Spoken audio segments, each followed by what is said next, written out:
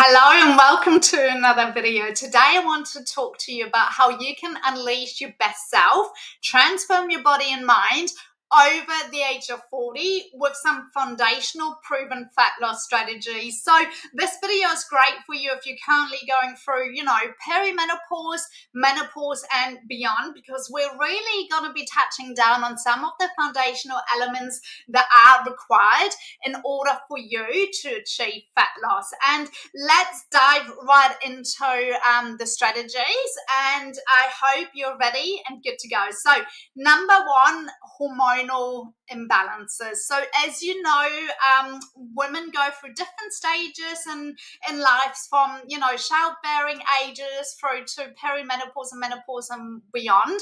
And imbalances can essentially lead to a whole spectrum of changes within the body.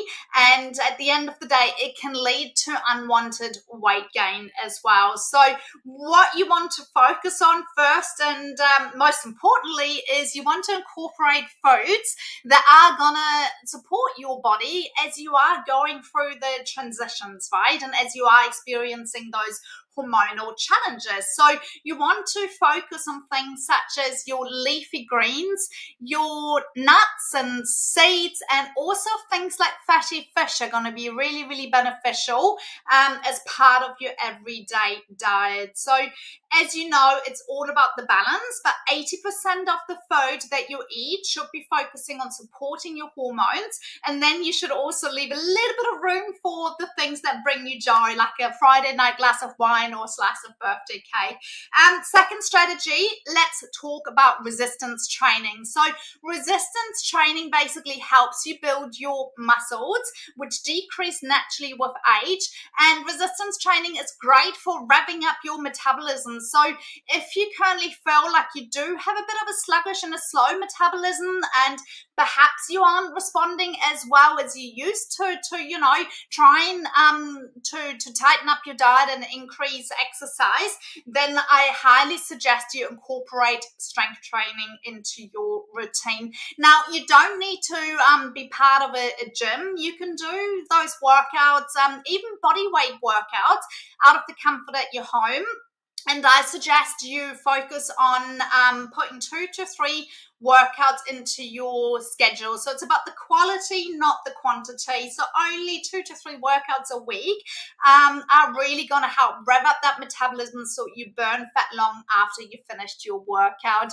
Next, I want to talk to you about interval cardio. So also um, often referred to as HIIT training, high intensity interval training. So basically you, you go really, really hard out for a short amount of time and then you have a bit of a resting period. Now, this is really good for your cardiovascular health and um, also needs to be part of your weekly routine when it comes to um, working out and exercising. So it basically is really, really good for burning extra fat, especially those really stubborn fat cells that are often hard to, to touch and eliminate, um, especially around the middle, because basically what you're doing is, again, you're revving up your metabolism with going really, really hard for a short period of time and then allowing that heart rate to come right down. Now, just want to be clear, like I don't recommend you ladies that are going through a shift in hormones and that are having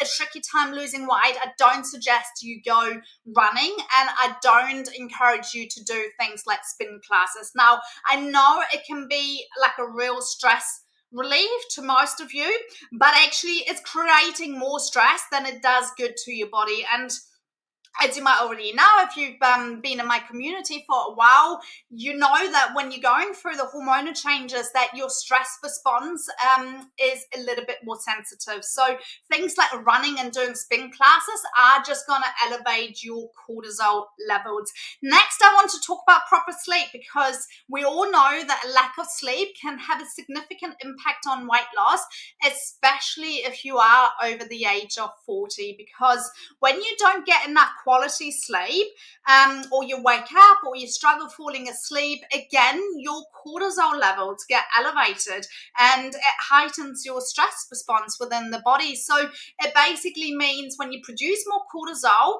it impacts your hunger levels. So you might find yourself being a little bit more hungry than what you normally would be, which also might uh, make you more prone to overeating as well. So it's got a huge connection to your appetite and that's why it's really really important to to get that quality sleep. And you know there's things like establishing a, a nighttime routine and also you know really focusing on stress reduction which i'm about to touch base on in a minute. So a lack of sleep really can disrupt your hormones. Um leptin and ghrelin in particular. So make sure that you are getting enough of that powerful sleep and have a look and see is it your hormones that are making it hard to sleep? Is it just, you know, watching your favorite show on Netflix? Or is it a lack of having like a nighttime routine that might make it rather hard for you to to get that quality sleep? And obviously right now um, temperatures have been rather hot and, and muggy, so that could also impact on the way that you sleep. So put some strategies into place to really um, help you with that so that you can lose the weight and maintain a healthy body. So next I want to um, move on to our next fat loss strategy. Another really, really important one, it's mindful eating, right? Because how often do we feel like we just caught out, get caught out when life is busy and we're just eating because we simply have to and we're not actually paying attention to what we eat and how much we eat. So you really want to, um, you know, get in tune with your natural hunger feelings and really eat slowly as well so that you are supporting your digestive system rather than trying to quickly eat whilst multitasking or whilst, you know, watching TV or scrolling your phone or whatever else it might be that's going on for you. Because when we're in tune with our body's hunger and fullness signals, eating right can become a lot easier and half of the time and this is what i find really really fascinating half the time when we think we're hungry. It's actually a sign um, our body's trying to tell you that we're thirsty. So really check in. Am i actually physically hungry or am I a little bit dehydrated, um, making my body hungry? So you could easily test things out, like um, you know, have a glass of water to figure out if you are still hungry after that. Then it's fine. By all means, go ahead and eat. And if not, there you have it. You may have been slightly dehydrated. So that leads me on to number six, where we talk about um, fat loss. Number six strategy: hydration. So it's really enough to get enough um, water because it's it's such a huge component of weight loss and and highly underrated. Like yes we all know that we need to be drinking more water but do we actually understand the importance? Um probably not. So drinking water can obviously help you feel a little bit more full. And there's studies that show clearly that it also stops you from overeating as well. And when you drink a glass of water before a main meal it can help you feel more satisfied and more full so you're less likely wanting to go for seconds. And it can also help you with things like you know craving um, something sweet or like a dessert after dinner as well. So ultimately if we reduce the amount we eat just by having a glass of water before you have your main meal then that can be super beneficial. Um, additionally water can help um, regulate your um, metabolism as well, especially cold water, right? So it can really help give things a little bit of a boost. And water also will help your body to get rid of um, toxins, you know, especially as toxins haven't settled yet and they're still kind of floating. If you're drinking enough water, you're actually giving your body a chance to essentially flush some of those toxins from your body, which will aid in weight loss as well. Because often I talk to ladies and if they've struggled to, you know, shift the weight, but they're doing everything right, it's often due to either like hormonal imbalances or um, just having too many toxins in the body that the body much rather would just store those toxins um, in form of a fat cell rather than those toxins docking onto your liver and other vital organs. So it's a survival um, mechanism. So to, to summarize um, this particular section where we're talking about drinking more water, obviously you want to aim for at least eight glasses of water each day. And then you know if you're having things like a smoothie or if you're eating plenty of veggies that is also full of water. And when it's really really hot or you are you know doing physical activities that you know you might be sweating a lot and especially those ladies that are getting the night sweats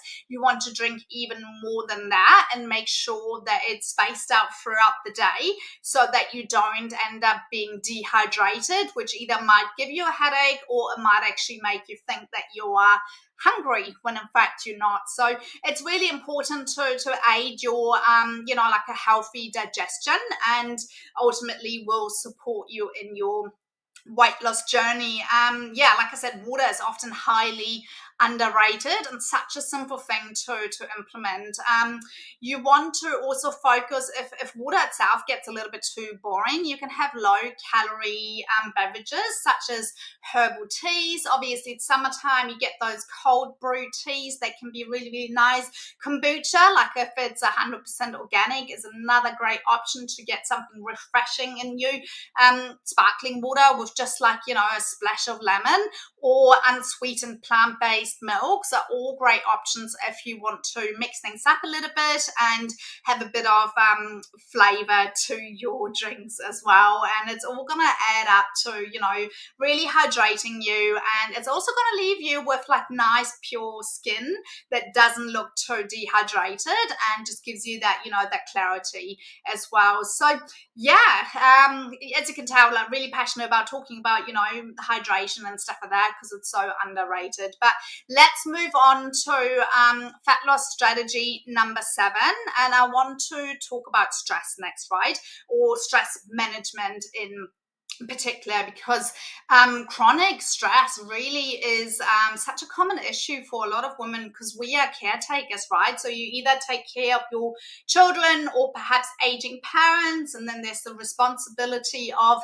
you know, your work and people around you. So it can really have that negative impact on on your weight because we we like i mentioned before like we get more sensitive when it comes to you know moving through those stages of perimenopause and menopause that it doesn't even take that much stress for the body to try and to hold on and store fat opposed to releasing it. And it's often a build up over over time and very very common for women over 40 because you're in your you know in that rush hour stage. And even though you might not feel particularly stressed out just being really really busy can actually actually cause chronic stress, and your body will then produce more cortisol, which can increase fat storage, making it rather difficult for women over 40 to actually lose weight. And sometimes it can actually even make you gain weight, which is obviously not ideal. And as we touched base on a minute ago, cortisol also plays with your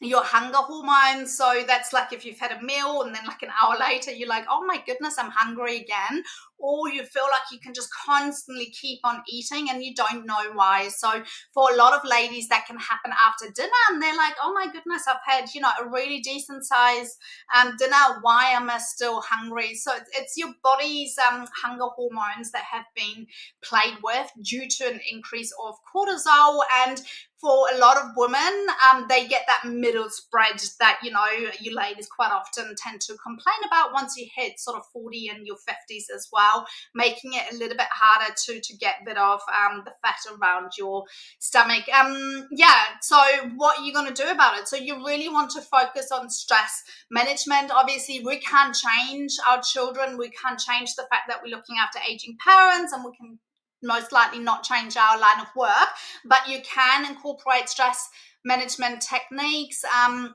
which are really really helpful. So i'm a big fan of um, breath work because it's it's quick it takes a couple of minutes but it's um, statistically proven to lower the stress response in the body. And you might also enjoy the likes of um, meditation. There's so many cool things out there and apps that you can download for that.